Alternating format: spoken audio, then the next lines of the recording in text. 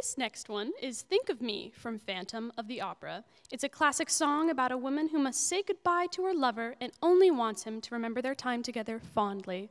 Please welcome to the stage Sophia Wilson.